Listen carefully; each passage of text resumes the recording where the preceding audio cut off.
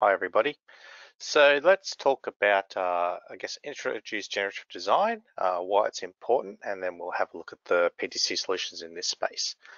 Uh, so really customers are being driven by a need to you know, increase quality, to come up with innovative products, and, uh, and be more productive with the time that they've got.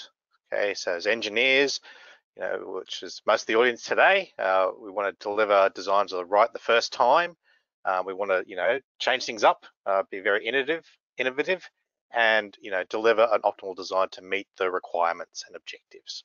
Okay, uh, companies want to deliver, you know, innovation as well, and, and, and a way to differentiate themselves. Uh, they want to do cost reduction and obviously maximize profitability. And they also want to produce you know, high quality designs that deliver uh, that reduce the aftermarket costs, okay, warranty, repair, and, and the like. Okay, so this is where uh, generative design comes into it. Okay, so for those of you unfamiliar, uh, generative design is basically where uh, the system automatically generates the optimal designs based on a set of requirements that you specify. Okay, so you can see the example down the, the bottom here, which I'll talk about a little bit later on today, but where we've got, um, we're basically letting the computer generate some really weird and wonderful shape based on loads and constraints and other things we might have, materials and stuff to, to give us some sort of optimal solution, okay? So, you know, why do we need generative design? Why are people interested in it? It's become a, a driving force over the past few years. Uh, you know, it's about uh, those business objectives, okay? To speed up time to market, you know, get new products out there faster, uh, about reducing the product development costs, okay? When you're trying to refine designs to get an optimal solution, that can be very time consuming. So the idea of generative is whether the computers do all that for us. Uh, you know, we want to differentiate our products, might be lightness, uh, performance, whatever it might be. Uh, we want to, you know, make sure that we're mitigating risk. Okay, so we want to make sure that our designs are, are heavily optimized, but also within the safety factors that we require. And you know, big one is often products are, are over-engineered. Okay, so that makes them less profitable. So we want to really uh, maximize the the benefits out of that product. Okay, so generative design is really around, you know, producing the optimal, letting the computer help us generate the optimal design. Okay, so Creo has some generative design solutions, which we're going to talk about. So there's two there that we showed in the uh, in the agenda slide. So the first one is the Creo Generative Topology Optimization, or GTO, as it's called. So this is really what you run on your desktop inside your Creo session that gener that basically delivers the uh, the topology optimization running inside your Creo environment. Okay, so it's designed for engineers to use to come up with the optimal solution based on constraints, objectives, loads, manufacturing processes.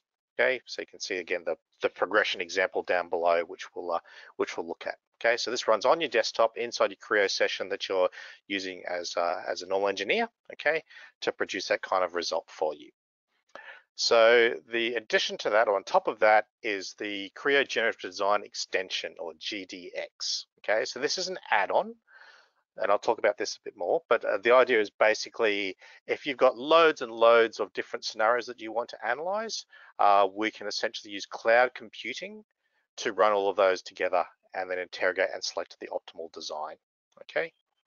So uh, as I said, it, it requires uh, GTO, so it's an add-on on top of that. So the difference, as explains here, so we run GTO, Generative Topology Optimization, we run that locally on the user's machine to optimize geometry, and we solve for an active design criteria, which might contain constraints and materials and things, okay? So you can define multiples inside your model, but you can only run or solve one at a time, okay? Whereas GDX, solves multiples at the same time with all the different requirements. That's the beauty of cloud is that we can um, scale up our compute power to solve for that, okay? So basically there's that strategy that lets you choose which way you wanna do it, okay? So uh, we can have customers that might just wanna start with uh, just run it on the desktop, okay? So you'll do all of your setup uh, on, on your desktop inside Creo.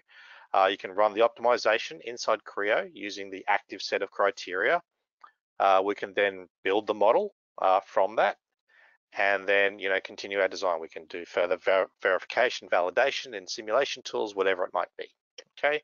And that's a perfectly legitimate way of working, okay? So uh, the other option is if you want more capabilities, if you've got lots of different things that you're looking at, then we can add on the generative design extension. So we still do all of our models set up uh, in Creo, and then we upload that to the PTC server, uh, where it then runs all of the studies and produces options for us that we can then filter and compare. And once we've decided on the best option, we can then send that back to our Creo session and build the finished model and continue on our way.